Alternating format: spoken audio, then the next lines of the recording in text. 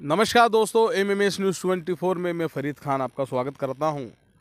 रात के 11 बज चुके हैं, लेकिन 11 बजे ऐसा लग रहा है कि कहीं रात के दो तीन बजे हैं, क्योंकि शीत लहर इस गति से चल रही है कि आम लोगों के लिए तो परेशानी हो रही है साथ ही साथ यहाँ पर जो हम रेलवे स्टेशन पर हैं, यहाँ पर कई गरीब लोग यहाँ पर ऐसे हैं जिनके पास सही से ना तो ओढ़ने के लिए कोई चीज़ें हैं, ना ही बिछाने के लिए जब घरों में रहने वाले लोगों के लिए काफ़ी परेशानी हो रही है तो कुछ लोग यहाँ पर ये जो अलाव जला कर बैठे हैं ये भैया क्या आप क्या ऑटो चलाते हैं क्या है? हाँ सर। अच्छा ये बताएँ कि ये इतनी ठंड पड़ रही है और आप रात में लोग अपने घरों में रहते हैं और आप यहाँ पर हैं क्या कारण है? सर लोगों की सेवा कर रहा हूँ क्या सवारी छोड़ रहे हैं? अच्छा। बस। तो ये जैसे अपने रेलवे स्टेशन पर भी काम चल रहा है और अपने ठंड भी काफ़ी है तो सवारियों में कमी आई इस इसकी वजह से? नहीं कमेंट ठीक आ रही है। पहुँचा रहे सबको सवारी अच्छा आप ये बताएँ कि बिल्कुल अलाव के बीच में बैठे हैं और ठंड का भी टाइम है तो यहाँ पर जो आसपास जो गरीब यहाँ पे बैठे रहते थे ये लोग कहाँ गए?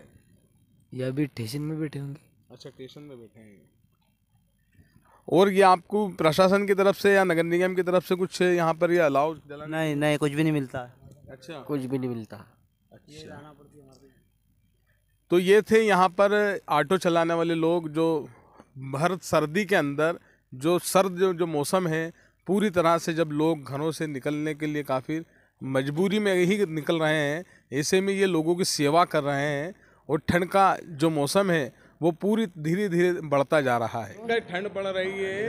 हाँ जी। आपके पास व्यवस्थाएँ क्या है? कुछ हैं? मेरे पास में व्यवस्था बिस्तर की है देता है कोई आदमी आ जाते हैं हर आदमी आ जाता है जिसके बाद में है हर आदमी नहीं वो धर्म कर जाता है धर्म करके नहीं हमारे को ये गद्दा रजे भी दे गए हैं और ऐसा है। ए, मेरी बात सुनो भैया तुम्हारे पास क्या है ओंटे बिछाने के लिए? कुछ नहीं है बाबू जी एक तो इसी में ओढ़ता हूँ और इसी में सोता हूँ। तो मेरी बात सुनो रोना किस चीज़ का है बस मजबूरी। मजबूरी। रेलवे स्टेशन के साथ हमने उज्जैन रोड ब्रिज और बस स्टैंड पर देखा तो कई लोग परेशान थे तो कई लोग पूरी अच्छे तरह से सो रहे थे।